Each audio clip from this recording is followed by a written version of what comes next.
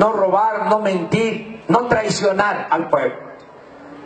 Eso es la síntesis que resume nuestro movimiento.